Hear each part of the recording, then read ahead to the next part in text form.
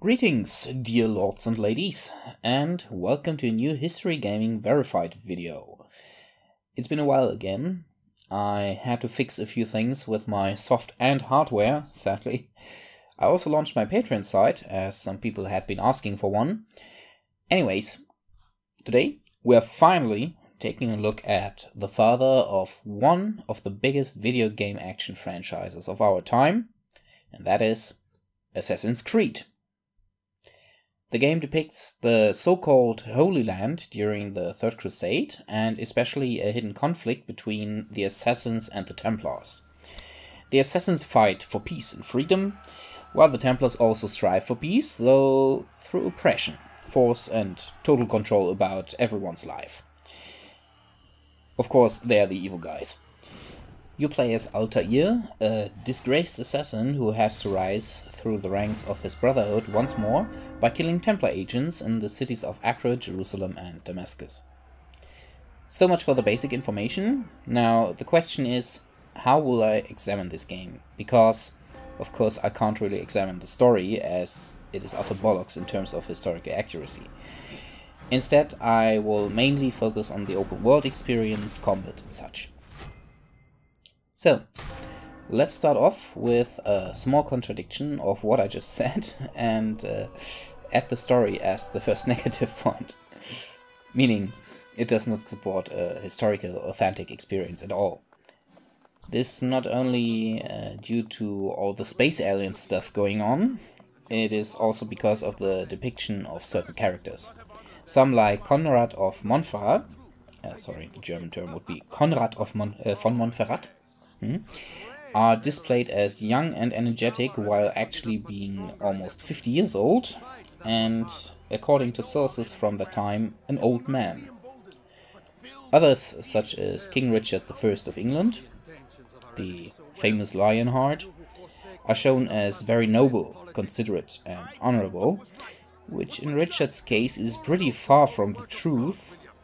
He was definitely an excellent military leader, an efficient diplomat and politician, but at the same time known as being extremely brutal, shrewd, and putting political and personal gains much above any thoughts of honor. In-game, he is very angry about Conrad of Montferrat killing more than 2,000 prisoners of war, while in reality, he ordered this massacre himself. Now, on the positive side of things, is certainly the basic world you play in the three cities of Acre, Damascus, and Jerusalem, plus the castle of Masyaf. While the cities are not completely correct in terms of size and layout, famous buildings and architectural landmarks have been placed more or less correctly and look very similar to their real life counterparts. Though in some cases a few liberties were taken.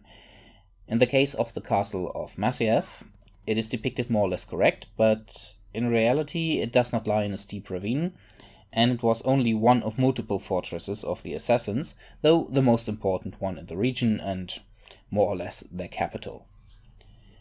A huge negative point is the low variety of weapons you encounter on your enemies.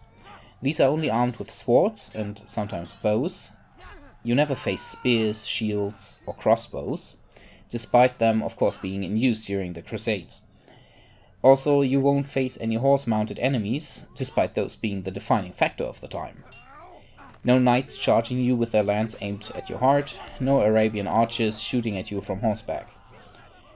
This is definitely caused by a limitation of development funds and time, as the engine is able to portray such AI opponents. In later games that are based on the same engine, these weapons, save for shields, are displayed and used by the enemies, shields have only been implemented in Assassin's Creed Origins, if I recall that correctly. On the other hand, some limitations make sense. Wielding a pole arm inside a city is really inconvenient, as these are unwieldy while fighting in narrow, cramped alleys, under canopies, and in crowded areas. Shields, on the other hand, are heavy and tiresome to carry if strapped to your arm. As you mostly fight inside the cities against patrols and guards, it is reasonable these are not carrying shields with them all the time. Some men could have had the shields strapped on their backs, but of course it would have been impossible to unstrap them quickly. An interesting thing is the actual combat of the player character against the AI opponents when you take into consideration the armament used and the armor the enemies wear. The most common enemies of both the Crusaders and the Saracens only wear padded or light lamellar armor that should easily be pierced or cut by sufficiently sharp swords and short swords. Another case are the more elite sergeants, equipped with chainmail or medium lamellar armor. It is relatively difficult to cut through these, but as long as the blade is just sharp enough to bite properly into the armor, but not too sharp, so it does not crack, and wielded with sufficient force, it should work. Stabbing, especially, should also work if the sword has a proper point and you get enough force behind it. So at least this kill move would most likely not work. A special case are the different swords Alter Altair uses throughout the game, as curved swords are significantly worse at piercing armor when stabbing, though it is probably still possible for a highly skilled and strong swordsman. For the last and most elite enemies sporting partial plate, heavy mail, and lamellar armor, a lot of the kill moves become very unlikely. Especially cutting would most likely not work anymore, and stabbing would be very difficult if not aimed at weak points such as the ankles or the throat. As some of the combat moves are aiming specifically at these less protected or vulnerable body parts, they are still feasible. But special kill moves for high level enemies would have probably been better. During the research for this specific topic that I already discussed a bit on the evaluations live stream, I actually learned a thing or two about the change in SWAT characteristics throughout the Middle Ages, especially that they continuously became less sharp, but bigger and heavier the thicker and, and stronger the armor got, until they were less more than huge, uh, two-handed, slightly sharpened clubs that even knightly nobles often exchanged for halberds and similar armor-piercing and or bone-breaking heavy pole arms and morning stars. As the game depicts a somewhat transitional phase with partial plate armor slowly showing up, a few inconsistencies are acceptable, especially if you consider the age of the game. But overall, my point with the special kill moves for high level enemies stands. For the short sword though, I'm largely satisfied, even with the combat against late game opponents, as most attacks with it aim for weak points, like stabs through the neck or slashes against the throat. Only the stab right into the chest is not really feasible. Another thing about the combat are non-lethal but crippling wounds and blocking or more precisely parrying. For the wounds, it is quite realistic the main character, Altair, does not necessarily go for a killing strike. He also stabs or cuts his enemies through the knee or thigh, breaks their arm, or, without even using his weapon, apparently breaks their necks. He also throws them into structures that collapse upon them and against walls to knock them down or even out. After combat you might then sometimes notice a few of your enemies are actually still alive and moaning because of their pain. If this wouldn't be enough, you're actually able to silence them permanently with your hidden blade, uh, though this does not impact the game in any way. This gives the combat a nice, authentic feeling. The same is true, at least for me, someone who has so far only watched fights and some historical European martial arts clashes and didn't have the time or money to actually do it himself, uh, for blocking and parrying. It seems more realistic than in most movies and games. Usually enemies and your own character try to deflect blows instead of simply parrying them with a blade, even dodging some blows, and sometimes slapping the enemy in the face or against the chest in return. Grappling looks a bit unrealistic, but pushing enemies to the side or throwing them to the ground is certainly not unrealistic. Of course, the whole combat, especially against multiple enemies, is far too slow. And when you fight more than one opponent, the others often wait for you to finish off your current target and don't try to intervene, something that is not authentic at all. Let's take a look at ranged combat. While the AI uses both for this, the only weapon the player character, Altair, utilizes is the throwing knife. This is actually not that wrong. A few medieval sources write the main weapon of the assassins was the knife or dagger, which they were also able to throw precisely. Altair exclusively aims for the throat with his knives and is incredibly accurate with them, to the point that it is entirely unrealistic again.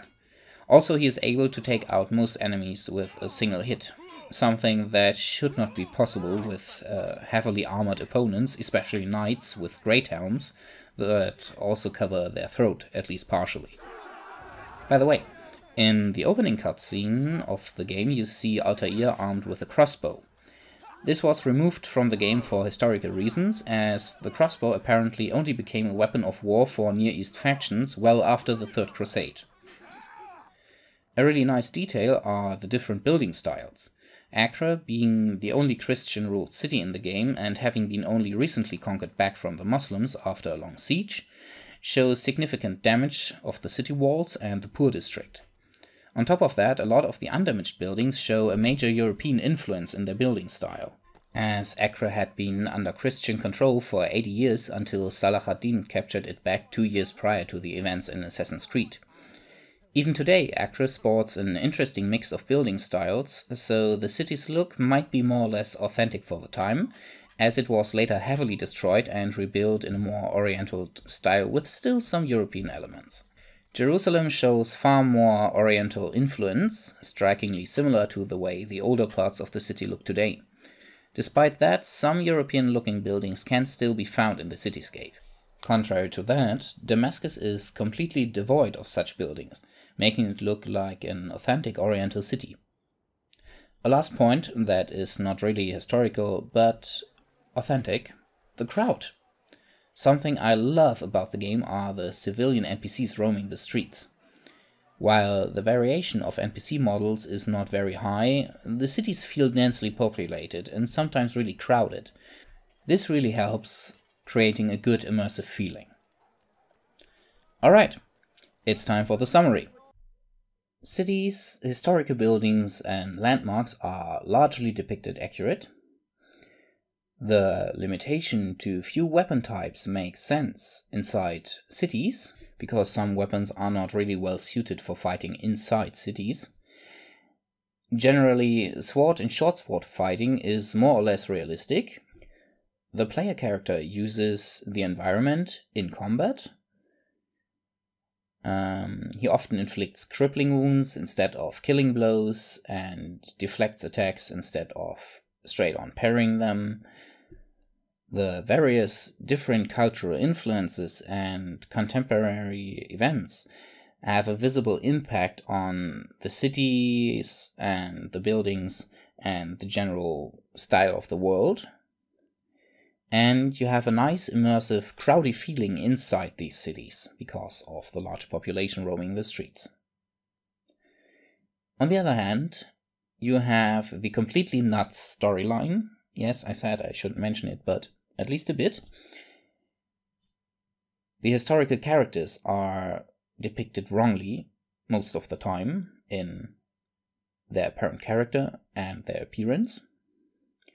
Some of the locations are not really authentic. You have a very low weapon variety. You're not only fighting inside the cities, you're also fighting outside in the open world. Uh, it is completely devoid of any mounted enemies in the age of Crusaders, knights.